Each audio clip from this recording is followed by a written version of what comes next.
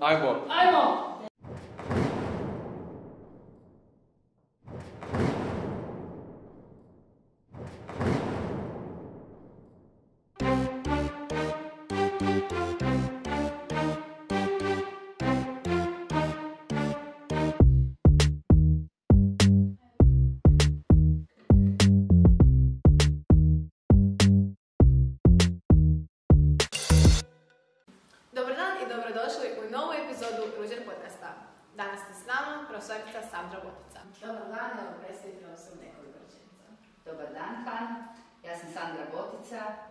Profesorica u Tehničkoj školi Ruđera Boškovića. Inače sam i diplomirani inženjer strojarstva, pa predajem strojarsku grupu predmeta. Nam reći samo koju ste srednju školu završili i kako ste uopće završili na tom fakultetu i tako?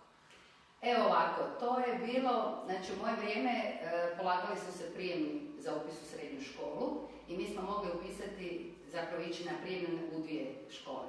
Moja prijateljica Irena i ja smo se odlučile ići u tadašnju, zato što nam je dobro išao hrvatski jezik, književnost, pisali smo sastavke i tako. Moja razrednica, e, profesorica e, Sorić, s kojom se i dan danas viđam, jako draga osoba, je imala velika očekivanja od nas dvije. Znači, išli smo po toj liniji u, u kulturu i umjetnost, ali smo kao, ajde, idemo i malo probati u tehničku školu. Tesla nam je bila kao drugi izbor i krenuli smo i tamo. I onda smo išli na te prijemni, položili smo i vozili smo se prema gradu, kao idemo se upisati i sad nas dvije pričamo, gdje ćemo, što ćemo. I kao ajde ovdje nam je bolja ekipa, pa zanimljivije, pa ajde to je ipak nešto drugačije i upisali smo se tako u srednju tehničku školu.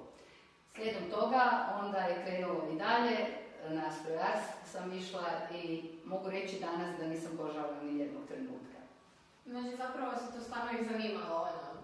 Pa je, meni je zapravo u mom nekom odrastanju puno toga zanimalo. Ja sam uvijek bila onako e, znatiželjno dijete, nisam bila baš ni mirno dijete, nisam ni danas onako mirna osoba, to nema veze sa smirenošću.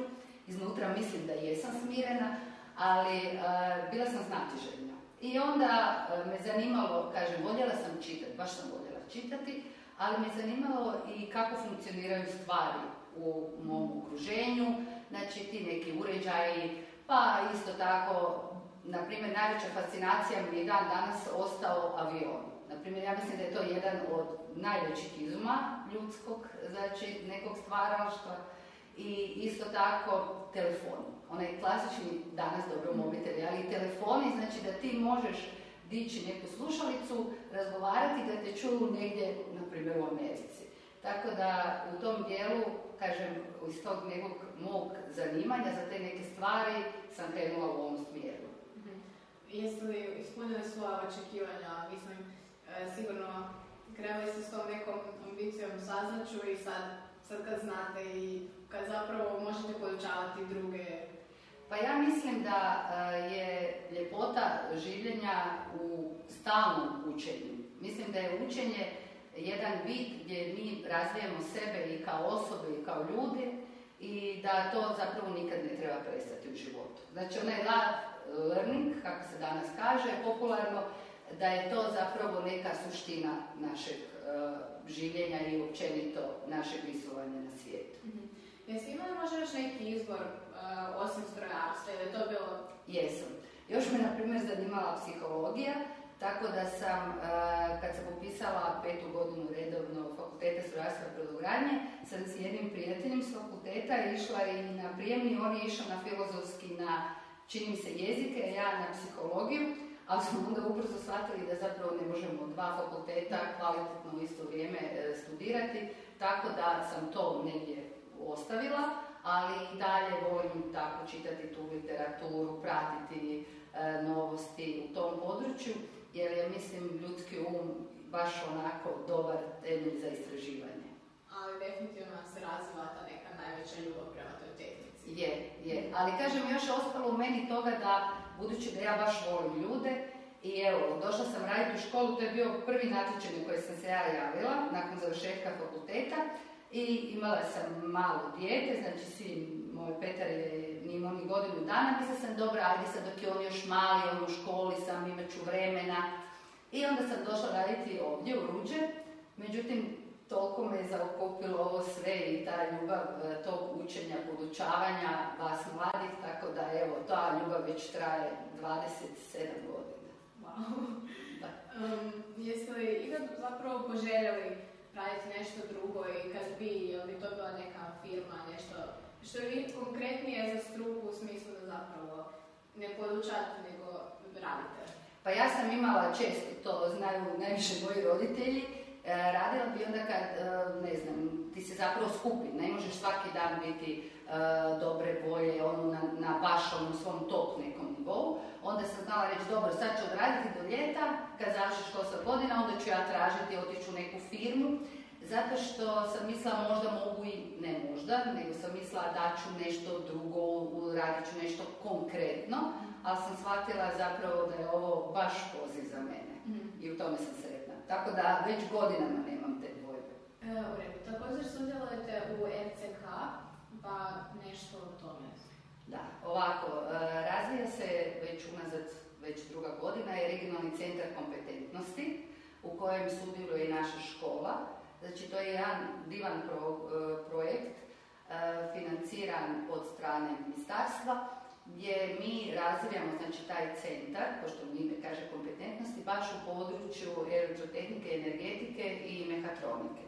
I to bi bila zapravo suradnja, upravo ko što bi trebalo biti, školstva, znači obrazovanja, ali konkretno sa privredom, znači sa firmama. E, najjednostavnije da firme nama kažu što bi trebalo njima, kakav bi njima profil učenika ili studenta koji završavaju srednje školsko i visoko obrazovanje, e, da treba u njihovom konkretnom e, radu da ne idemo onako samo na teoretski dio, nego da, da ti mladi ljudi budu sposobni znači, za poslove koji njima trebaju.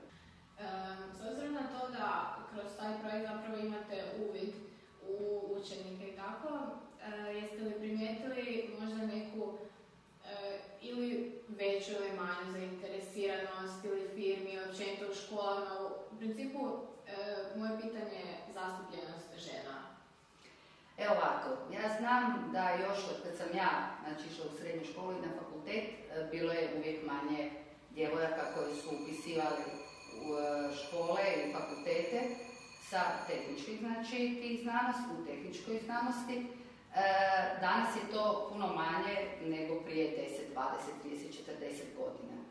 E, mislim da je to dobro i da bi trebalo biti što više djevojaka. Meni je lijepo kad uđemo u razred, na primjer kad sam ušla u tvoj razred pa ste vas četiri djevojke tamo sjedile, zapravo mislim da je ljepota u toj raznolikosti i da treba ove predrasude i stereotipe što imamo u društvu, da ih treba zapravo rušiti. E, nisam nikad susrela ono što se obično kaže da li ste osjetili da ste manje vrijedni, da ste, ne znam, omaložavani zato što ste žena u području ste tehničke znanosti, nisam.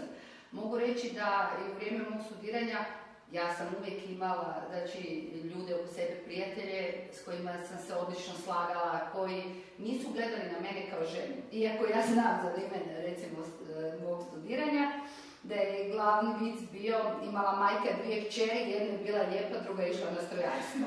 Da. Moja mama ima dvije kćeri, ima i sina, ali ima dvije kćeri, moja sestra je baš lijepa, ali eto, i ona je isto inženjer kako ja. Moj brat je ekonomist, znači tu smo mi više kao inženjerske struke, a on je e, ekonomske. E, meni je to bilo uvijek smiješno. Mislim da je stvar samo karaktera tim da e, veliki utjecaj ima prvenstveno obitelj i okruženje koje vas formiraju. Ako ste vi e, nekako sigurni sebi, zadovoljni sa sobom, onda vas takve priče neće doticati. Znači, e, treba imati svoj stav u životu i imati svoj cilj neki. I biti sretan s tim što radiš i što želiš. Mislim da je najvažnije zapravo biti sretan. Apsolutno, mislim, uh, nekako evo ogledam ja, ja sam došla tu i meni se ovo sviđa i moje prijateljice isto što se tiče tih tehničkih znanosti. pa nama je to sve zanimljivo i ne znam, znam da i nama znaju neki čak profesori kao, a vi ste cure, sad ćemo, ne morate to toliko teško napraviti, mi ćemo vam olakšati, stalno, e, pogotovo kad su bili elaborati, to, to ću istaknuti. Mislim, nikad mi to nismo toliko uzimali za zlo, zato jer ipak mi je olakšano, ali opet osjeti se e, i nije, nije ugodno. A onda, ono... Znam što misliš reći. Ovako, mi smo kao društvo skočili naglo, mogu reći, mogu reći naglo kapitalizam, ali smo još uvijek ostali dosta tradicionalni. Znači, zna se gdje je mjesto ženi, što se tiče općenito u kući, a s druge strane, opet mi htjeli da te žene danas i rade, da nešto privređuju, da budu uspješne. To se najbolje vidi, evo, baš sam nedavno pričala sa prijateljicom, e, mojom jasnom koja je završila, znači isto je inženjer, samo što je ona baš završila e, elektrotehniku. Ona je radila u velikoj firmi, gdje se u firmi vidi upravo da, na primjer, u onim vodećim strukturama nema toliko žena. A ja vjerujem i znam da su žene isto sposobne. Znači, e, u tom nekom najvišem rangu, u članovi uprave direktori, tu nema baš puno žena, ali u middle, znači managementu, onom srednje, je sve više i više zastupljeno danas žena. Upravo zato što žene imaju tu vrlinu da mogu više stvari odjednom raditi. To je činjenica. Znači, možete i programirati, istovremeno možete ipak, budući da je to timski rad biti tako dobar da rješavate i međuljudske sukobe, konflikte, da držite sve pod nekom kontrolom, što ja mislim da ipak su žene u tom dijelu puno, puno jače nego muškarci. Ovo što ti kažeš e, da profesori neki su imali stav prema vama takav, ja se nadam da je to više iz neke dragosti što ste tu, nego što je iz omaložavanja. Ja to tako, ja svačam to možda ljepše nego što je, ali nadam se da je to tako. Ma ja se također nadam da je tako. Znači zapravo fali žena u tom području. Ja mislim da da. E, veseli me što vi na fakultetima danas sve više i više, znači i na feru i na strojarstvu ima djevojaka, to se vidi kad dođete na fakultet, znači vidi se da ima puno više djevojaka nego u moje vrijeme, ali u srednjoj školi još uvijek malo ja bih htjela sve djevojke zapravo hrabriti koje imaju sklonosti, jer vi kad pogledate u osnovnoj školi ima i djevojaka kojima stvarno ide i matematika, ide i fizika i zanima ih to, ali nekako je stav ako sam dobar, možda je bolje da upišem gimnaziju pa se još malo odlučujem, imam četiri godine još, jer zapravo je sa 14-15 godina Malo je njih koji znamo, to i nas koji smo znali što želimo u životu. Reci Mislim da je tu i taj problem toga što, eto, kroz osnovnu mi nemamo nikakve, gdje, e, nikakva testiranja, ispitivanja naših talenata, da. općenito, tako da, opet, e, mislim da za to dosta krivo obrazovanje i Slažem sve se svede na... E, mislim da je danas ova isto poplava odlikaša i taj, taj e, vječiti trend e, natjecateljski, kompetentnosti. Znači djece koje moraju, koje zapravo e, djeca, njihova najljepša odlika bi trebala biti igra. Znači da odrastaju kroz neko igranje, kroz neko veselje, a sve više danas je na njima težak teret da moraju u svemu biti dobri. A to nekako nije ni prirodno. Nismo svi za sve. E, danas vi kad pogledate i profesori koji rade u toj osnovnoj školi, ja mislim da je njima isto teško dati manju ocjenu nego što je pet. A znači tu mi ne uviđamo, zapravo ne pomažemo toj djeci, jer e, to što ti kažeš, ne, ne dajemo im e, do znanja ono u čemu su oni najbolji, da se u tome istaknu. Jer je zapravo danas je trend da je nešto dobro kad je kompleksno, kad je komplicirano, kad se za to moraš jako boriti, a zapravo ljepota življenja u jednostavnosti. Zašto se ne bi svako od nas posveti onom što mu najbolje ide, u čemu se najlagodniji i najljepše osjeća? Recimo, ja radim u školi, meni je svaki dan kad idem u školu lijepi dan, zato što volim svoj posao. Mislim da je e, vrlo važno voljeti ono što radiš. Znači biti ispunjen u tom dijelu da to nije samo posao, da ti ne ideš tamo samo nešto odraditi, nego da imaš to unutarnje zadovoljstvo.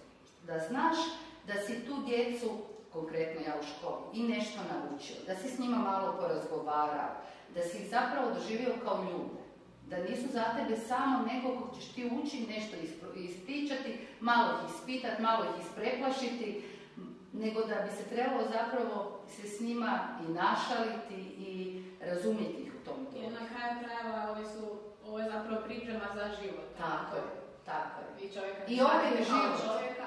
Isto. Upravo to. Da.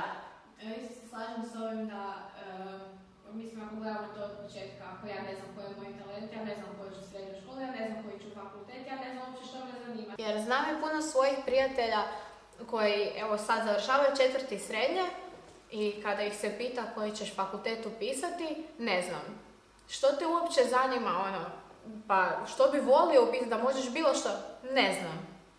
I sad, meni je to baš žalosno.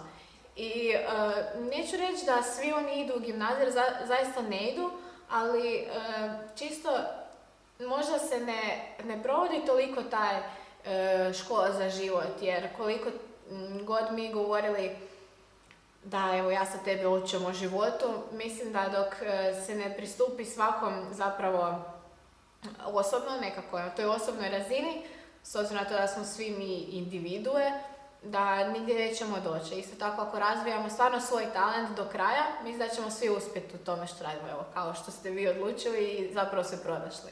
Slažem se s tobom, ali još imam nešto tu nadodat. Mislim da je današnje vrijeme, vrijeme velikih izazova. Za, baš za vas, još i za manje od vas djecu u osnovnoj školi. Znači, e, imate puno tih stvari koje možete. E, tehnologija je napredovala. Tehnologija E, znači grabi, mrvi sve pred sobom i jednostavno cijeli život se ubrzao. Isto tako, e, roditelji možda nisu e, toliko spremni danas uhvatiti korak, a žele svojoj djeci najbolje. I onda vam daju puno mogućnosti ali sa vam istovremeno, sad moram malo i kritike, daju i da vrlo brzo odustajete. Mislim da je to loše. Naprimjer, najjednostavniji primjer gdje mogu to ti jasnije objasniti, kad dijete se hoće baviti nečim, kad još malo, znači ono vrtić, predškol, školstvo, ono prva, znači prvi niži razredi, onda bi neko balet, neko bi neki sport i onda ti kreneš pa ideš mjesec, dva, tri, e čim ti već baš ne ide, odustaješ i roditelj kaže dobro, ajde probaj nešto drugo. Nije ni to dobro. Jer tako se ne može ni iskristalizirati ono u čemu bi ti bio dobar. Znači, isto to odustajanje, brzo odustajanje, isto nije dobro. Znam da ovo nije sada baš poveznica s ovim što ti hoćeš reći, e, zapravo što si, što si mi rekla, ali e, mislim da današnje isto, vrlo je teško i zahtjevno biti roditelj u današnje vrijeme, zato što hoćeš toj djeci najbolje. Malo prije kad smo pričali, kad sam ja vama objašnjavala u prvom razredu konstrukciju sinusoide, pa smo rekli, znači, ja sam rekla, tako je život. Ti si malo gore, pa si dolje, pa si gore. A roditelji danas nastoje da njihova djeca budu samo u pozitivnom, onom u gornjem dijelu, ako može u onom vršku, znači u amplitudi, što nije realno. Jer život se sastoji i od lijepih stvari, ali i od stvari koji nas bole, koji nam smetaju, gdje se osjećamo zakinuto, gdje se ne osjećamo ugodno. Tek kad si ti dolje, tu se jača i stvara karakter, jer ti moraš onda od ozdo krenut prema gore. Znači moraš se ispoljiti, tako rasteš. Tako, ja se s tobom slažem, trebalo bi više još u nižim razredima postoji profesionalna orijentacija na koju ti možeš ići nakon osnovne škole. To su zapravo jako skupe programi. E, čak ima, ja mislim da se može prijaviti pa ideš, e, znači na kraju osmog razreda možeš se prijaviti pa ideš na besplatno testiranje, ali e, hoću reći da bi trebalo cijelo naše školstvo biti više usmjereno da se pokaže vama mladima da ono sve što se uči je zapravo svuda oko nas. Da sve što smo naučili nas je naučila priroda. Znači, kad vi učite bilo što iz matematike, iz fizike, iz nekih tih prirodnih znanosti, da je to svuda oko nas. Znači, pokazati primjerom, e, vama to približiti. Znanje bi trebalo biti nešto što će vas veseliti, zanimati, u što vi ćete onako dati sebe i biti s tim sretni, a ne cijelo vrijeme u grču hoću li dobiti ovu ocjenu, hoću li to uspjeti. I što je najgore još isto, danas e, je isto trend da se ne pokazuje da nešto ne znaš. Jer odmah djeca pomisle, joj glup sam.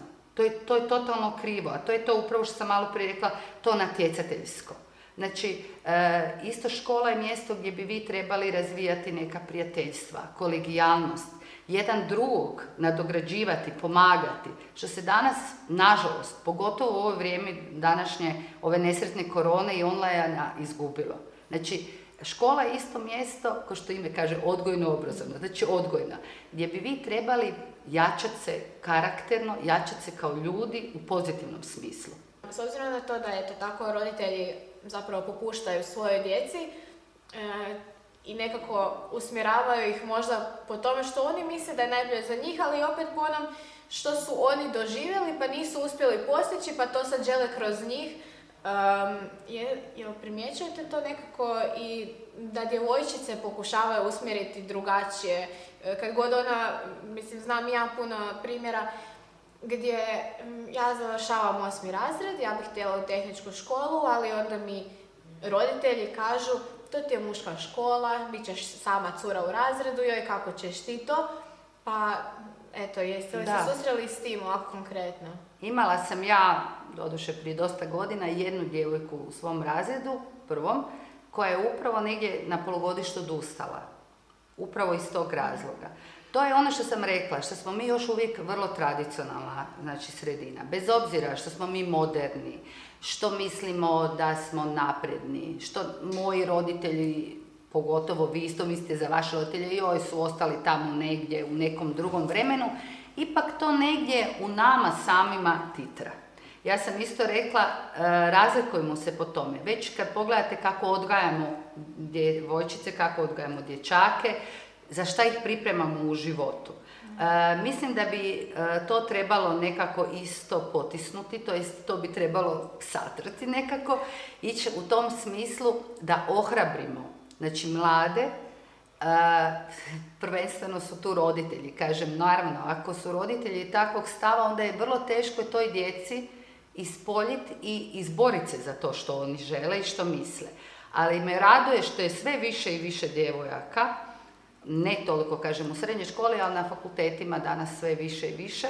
I mislim da će ipak trebati proći dosta vremena dok se to tu negdje izjednači. Mhm. Jeste, jeste li ikada bili tako skutovani baš od strane ljudi kojima vjerujete? Ne. Ja sam imala sreću i još uvijek da imam krasne roditelje i nisam, možda sam rekla, bila baš mirno dijete, ali e, znali su se granice meni je bilo dovoljno da me otac pogleda i da ja premrem, ali ovaj, u pozitivnom smislu. Ali e, su mi dozvoljavali da e, znači, sve svoje neke želje, talente, znati želju e, ostvarim. Zapravo upoznate se. Da, da, da. jeste li ovako kroz fakultet, ako ćemo ići opet uspoređivati, je li bilo još djevojaka na strojarstvu i da. mislim, vjerujem da niste bili sami, ne. zato... Bilo je i dan danas sam ja ostala sa njima prijateljica, moja divna Sandra, Zdenka, Vlatka, znači puno Irena, puno e, je cura, koje, djevojaka koje su sa mnom studirale i koji su završile taj fakultet, to je isto važno. Jedna e, važna činjenica je isto da puno danas vas srednjoškolaca upiše fakultet i onda ga nažalost ne završavaju. Znači taj neki broj, postotak visoko obrazovanih Hrvatskoj nije baš na nekoj zavidnoj razini. To isto mogu, ja mogu shvatiti da je neko upisao nešto pa vidi već na prvoj godini da njega to ne zanima ili da ne želi uložiti trud, ili da mu ne ide, i da odustane i da upiše nešto drugo. To je sasvim u redu. Bolje to nego se patiti. Patiti se godinama, godinama, godinama, biti cijelo vrijeme nezadovoljan čovjek. Ali isto tako e, danas e, dosta e, mladih odustaje rano.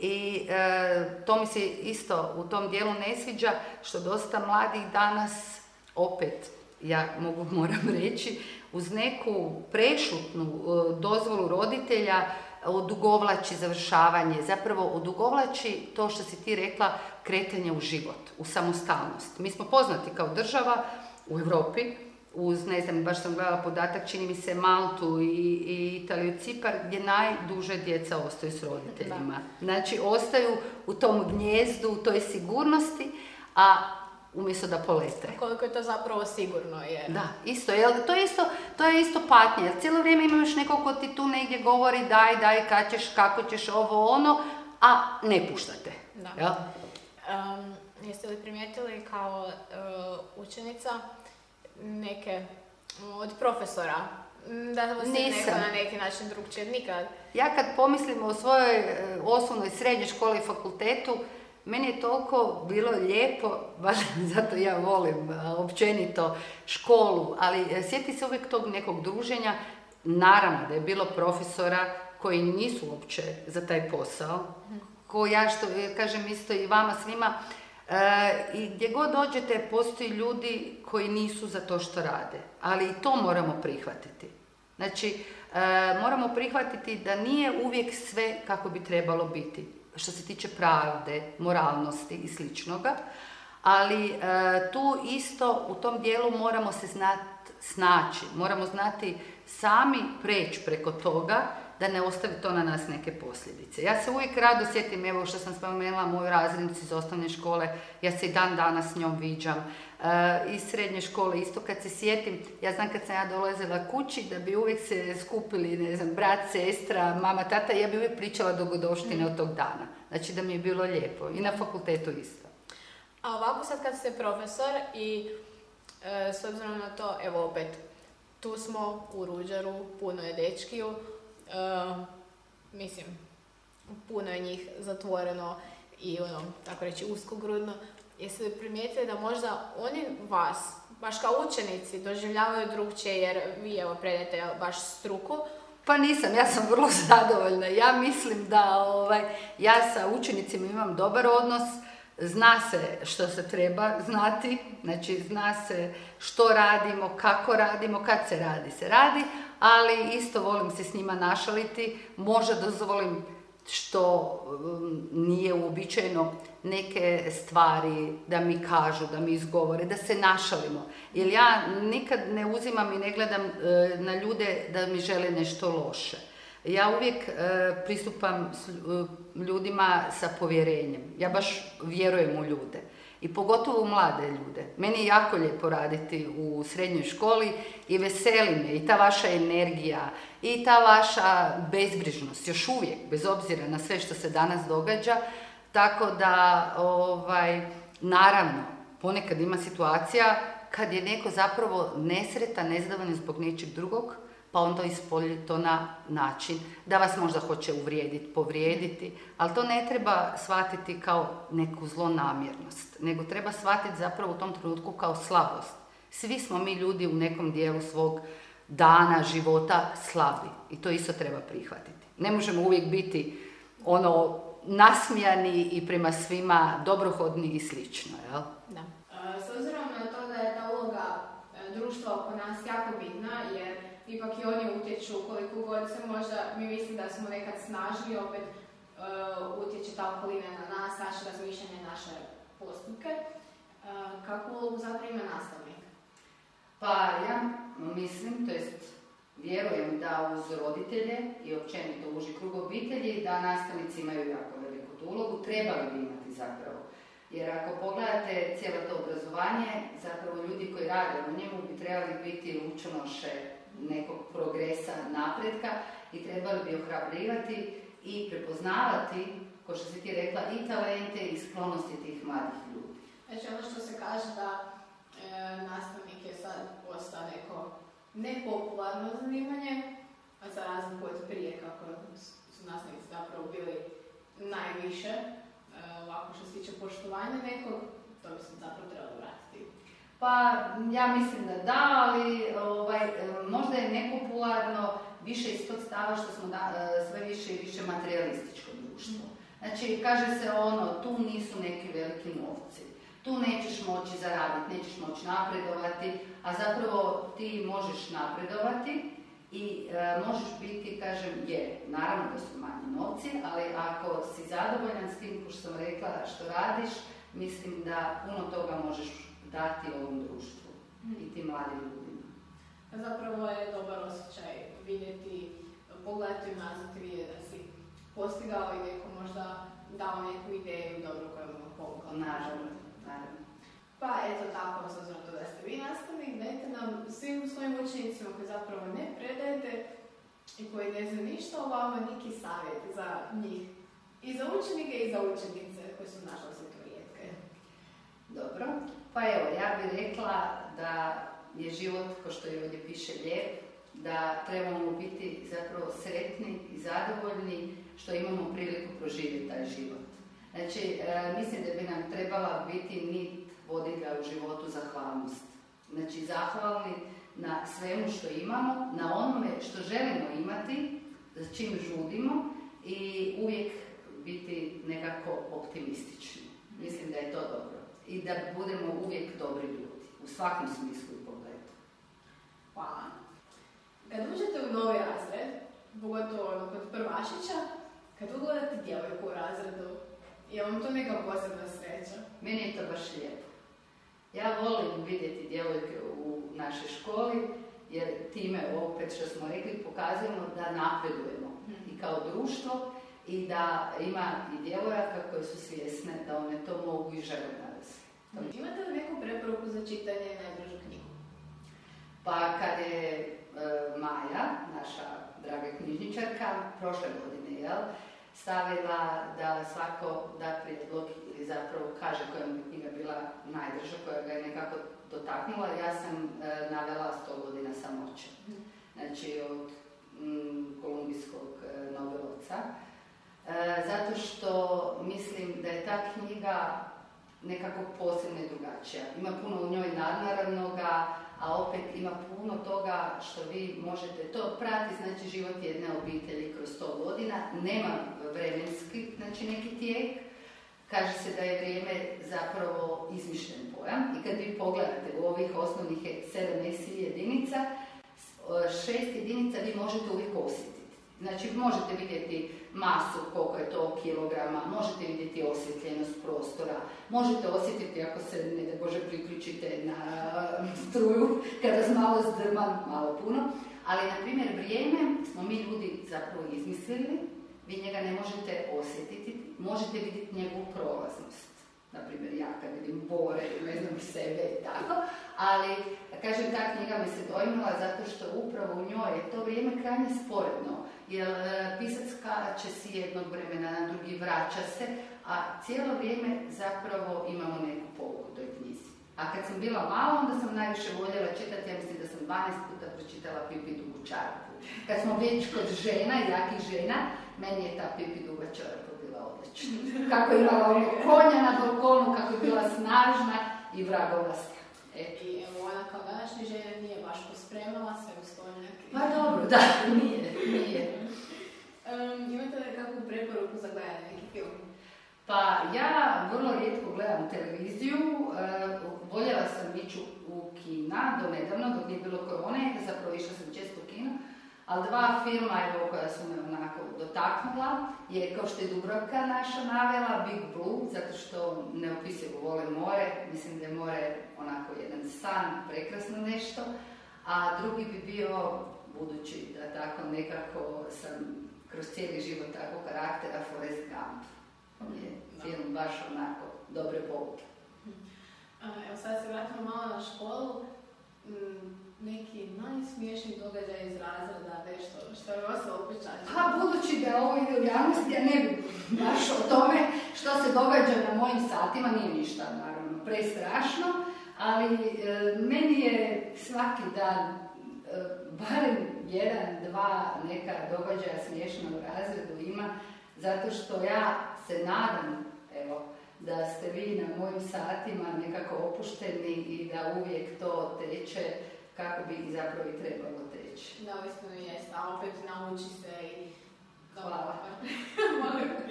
um, neki izlet koji nećete tako... Jo, ja jako volim putovanja. Sve bi novce potrošila na putovanja, znači inače putujem dosta, a tako da me, e, su me neopisivo veselili ti izleti i ti maturalci i kažem, uvijek je bilo lijepo. Bilo bi lijepo i u onom Gardalandu kad bi se onako bezglavo sumovratili iz one sve moguće opasne znači, sprave. E, na, ko što je Lovro rekao, prošlo je onaj posjet Minhenu i sajmu elektronike mi isto fascinirao i ja sam skupljala isto koji znači u dosta toga, ali kažem to kad vidiš konkretno kako ta znanost ide, ide, napreduje, a maturalci su priče za sebe. Znači, od Španjolske, uh, onog prekrasno doživljaja same te zemlje, ja sam jednu svoju generaciju vodila u Tunis, isto nam je bilo prekrasno. Prag, ma mislim, e, putovanja, mislim, uvijek i kažem svojim učenicima da kad god mogu, da je puno bolje ići na neka putovanja nego nešto materijalno da im roditelji kupe, jer e, to, taj doživljaj, to što ćete doživjeti na putovanju, nove ljude, nove krajolike, nove međusobne neke e, situacije, odnose, da nas to zapravo isto čini ljudima. Um, imate neki životni moto? Pa životni moto, to kad sam razmišljala o tome, e, prošle svoje generaciji sam pročitala od Ellen Weiss, jedan znači dio koji mislim da je ono sukus onog kako ja mislim da se živi, mogu pročitati, da. Sad imam tremu da, ne, da nešto ne zbrzam, evo ga, mobiteli, e, samo malo, evo ga. Znači ona je rekla da je najveća potreba svijeta potreba za ljudima, koji se ne daju ni kupiti ni prodati, koji su u dubini svoje duše pošteni i časni, koji se ne boje nazvati grijeh njegovim pravim imenom, čija je savjest vjerna dužnosti kao magnetska igla polu, koji će ostati na strani pravednosti, makar se ne posrušilo. Hvala. Hvala vam na gostovanju i to je to sljedeći epizod. Hvala tebi, Hana, i svima vama koji ste sudjelovali u ovom projektu. I ja i učenicima koji su tražili da ja budem